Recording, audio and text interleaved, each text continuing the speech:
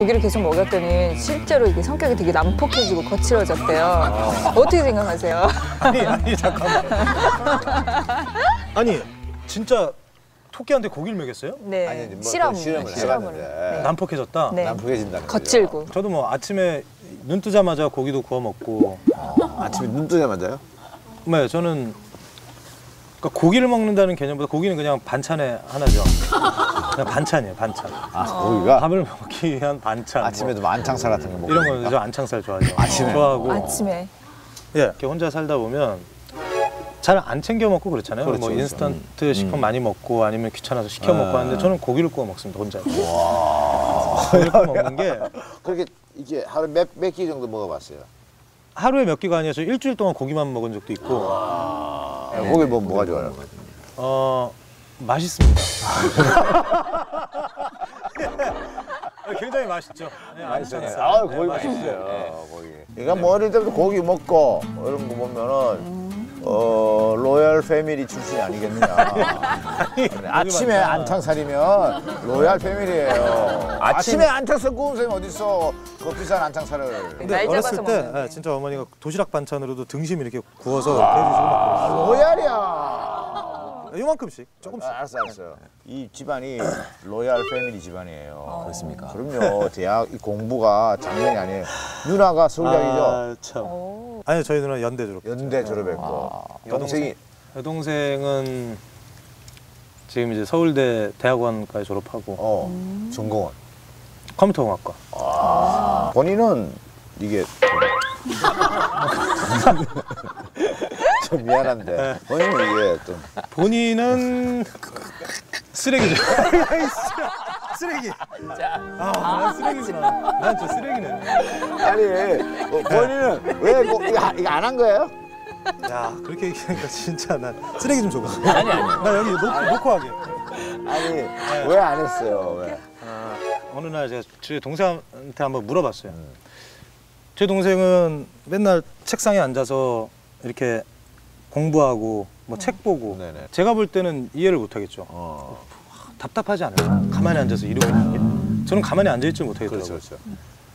근데 이 거짓말 같은 공부가 제일 쉬웠어요. 뭐 이런 거 있잖아요. 수능 모의고사 보잖아요. 네, 네. 진짜 모의고사 400점 만점을 한 세 번인가. 네. 어머, 어머. 여동생. 여동생. 우와. 네. 취미가 다른 거. 분명히 비슷한 머리를 갖고 태어났을 텐데. 근데 말씀 들으니까 아버님이 일찍 돌아가셨어요. 네, 저 어렸을 때 네, 돌아가셨는데. 저, 뭐 저도 그래서 네. 저는 100일 되기 전에 돌아가셨거든요. 제가 태어나서. 나서 100일 저는 되기 여덟 살 때. 어.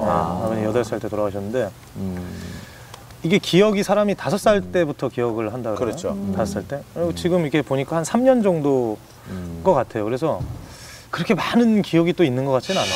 그리고 그런 건 있죠. 이제 음. 돌아가시고 난 다음에 음. 이제 초등학교 1학년 때부터 한 6년 다니면서 그게 놀림거리가 되는 거예요. 얘는 아빠가 없대.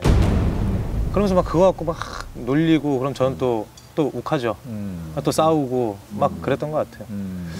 뭐 지금 생각해 보면 그냥, 그냥 웃고 넘기는 거죠. 너무. 근데 그 네. 아버님은 뭐 병안으로 돌아가셨어요? 그러니까 정확하게 물어보질 않았어요. 제가 어렸을 때 들었던 거 이후로 제가 어머니한테 어머니는 아실 거 아니에요. 정확한 뭐. 뭐 갑작스럽게 돌아가셨는데 저희 아버지 이제 은행 다니셨는데 뭐 점심 시간에 이렇게 걸어가다가 뭐 이렇게 피가 나오셨는데 그걸 이제 다시 그냥 맞고 다시 이제 피가 음. 그래서 쓰러지셔서 바로 앞에가 병원이었는데 가셨는데 뭐 돌아가셨다고 하더라고요. 근데 저는 너무 어리잖아요. 그때 일곱 살 여덟 살 음. 여덟 살 이때면은 그냥 아무 생각 없어요. 동네에서 그냥 친구들하고 그냥 노는 게 즐겁고 그냥 그럴 때였는데 그 얘기를 친구 집에 있었는데 전화가 와가지고 딱 받았는데 뭐 아버지가 갑자기 그렇게 되셨대. 근데 그 얘기 듣고 딱 처음 드는 생각이 얼마나 철이 없냐면 사실 다 그래요. 진짜 일곱 여덟 살 때. 그 얘기 딱 듣고 아 뭔가 드라마 같은 데 보면은 그렇게 해서 내가 병원으로 막 달려가면 갑자기 의사 선생님이 아 기적적으로 뭐 이렇게 어 다시 이렇게 전 당연히 그럴 줄 알았어 그 얘기 들었을 때도 음. 그래서 병원에 갔는데 뭐 그렇게 되셨고.